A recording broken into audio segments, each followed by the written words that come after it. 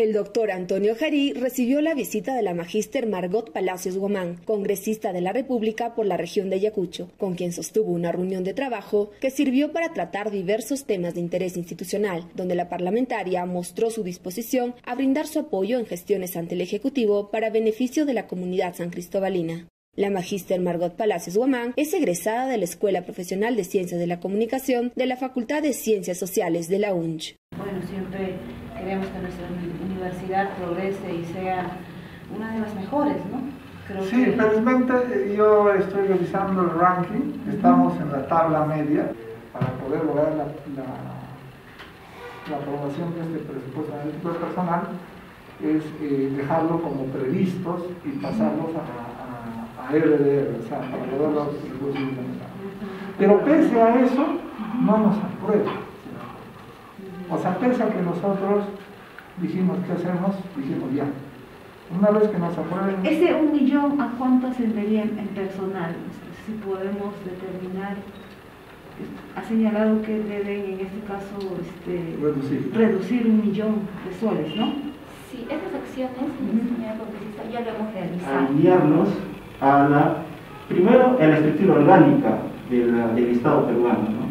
Y por eso es que han emitido las normas. Entonces, y eso es, una disposición para todas las entidades públicas, está incluido las universidades.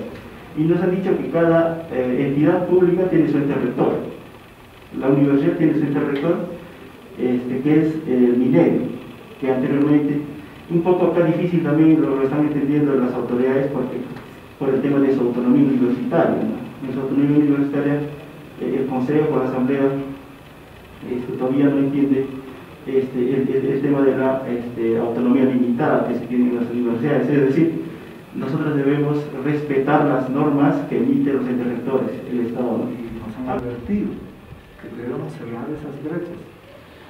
Y hay una situación que eh, en este caso el gobierno tiene que entender. Se ha puesto tácitamente que para podernos nosotros licenciar y tener condiciones básicas de calidad, esa brecha de infraestructura y de equipamiento le corresponde al Estado. En cambio, en las universidades privadas le corresponde a la, reinversión de las universidades privadas. Entonces, es una paradoja.